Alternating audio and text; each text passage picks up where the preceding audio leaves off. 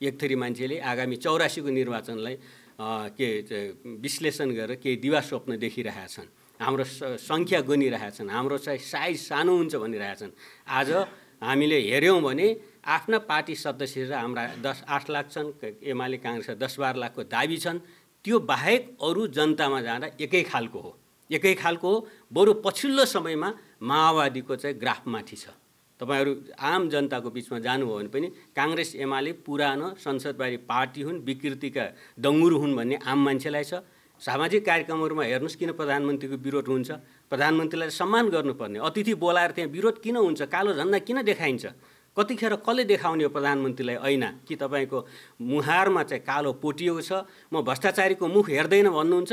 कार्टुनमा तपाईँ हेर्नुहुन्छ जनताको चेतना व्यक्त भएको छ। भ्रष्टाचारीहरूलाई दायाँ बायाँ राखेर झन्डै आधा दर्जन भ्रष्टाचारको अभियोग लागेका मान्छेलाई क्याबिनेटमा राखेर म भ्रष्टाचार गर्न दिँदैन भ्रष्टाचारीको अनुहार हेर्दैन भनेर के भन्नु खोज्नुभयो? हो नेपाली जनता धेरै सचेत भइसकेको अवस्था छ। आज चाहिँ सूचना प्रविधिको युग हो। हरेक कुरा हरेकले जानकारी राख्छ बरु के खतरा छ भने डिप डिपफेक भन्छ। आज चाहिँ इन्ट आर्टिफिसियल इन्टेलिजेन्सले चाहिँ यस्ता कन्टेन्टहरू उत्पादन गरिरहेको छ कि जसले सही र गलत छुट्याउन नसक्नेतिर गइरहेछ। त्यो हो बरु हाम्रो च्यालेन्ज नयाँ युगमा। साइबर सम्बन्धी यो च्यालेन्ज छ। तर चाहिँ जनताले चाहिँ कोही नेताको बारेमा जानकारी राखेको छैन।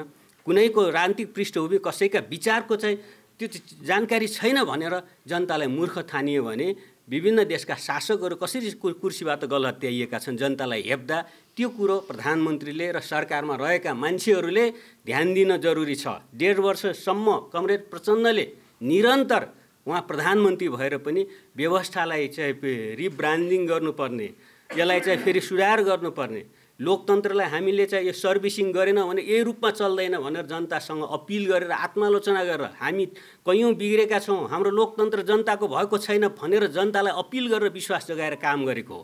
भ्रष्टाचारका विरुद्ध पहल लिएर काम गरेको हो। राज्य दोहनका विरुद्ध काम गरेर मात्रै जनतालाई एउटा विश्वास दिलाएको अवस्था हो र चाहिँ शासकहरू त्यो कुर्सीमा बसेर स्वत मानिदिन्छ अस्ति गणितमा के आयो के अङ्क आयो भनेर कसैले हेरेर बस्दैन। जनताले आफ्नो अवस्था आफ्नो दिनदिनैको अवस्था के छ दिनदिनैको व्यवस्था के छ दिनदिनैको व्यवहार के छ कस्ता मान्छे छन् कुराले कसैले पट्याउँदैन कि कस्तासँग सङ्गत छ प्रधानमन्त्रीजी तपाईँको सङ्गत कोसँग छ दायाँ बायाँ को छन् के आरोप लागेका मान्छे छन् के अभियोग लागेका मान्छे छन् त्यो हेर्नुहोस् र जनताको के अरे जनताको चेतना स्तरलाई कमजोर नठान्नुहोस्। आज युवाहरू संसार बुझेको छ आज नेपाली जनताले पनि संसार बुझेको छ।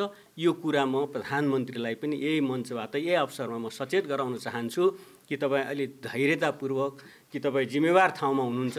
सबै आन्दोलनलाई सम्मान गर्नुहोस् जनताका भावनाहरूलाई आत्मसात गर्नुहोस्। जनताले के चाहेको छ त्यो कुरोमा चाहिँ एकपटक चाहिँ म जिम्मेवार ठाउँमा छु। यो व्यवस्थालाई सर्भिसिङ गर्नुपर्नेछ। नेताहरूले आफूलाई चाहिँ नयाँ बनाउनु पर्नेछ जनताका नयाँ भावनालाई आत्मसात गरेर आत्मालोचक ढङ्गले आफूलाई एकपटक फेरि प्रस्तुत गर्यो भने जनताको विश्वास हुन्छ भन्ने बरु अलिकति आत्मचिन्तन गर्नुहोस् मेरो यो पनि सुझाव छ।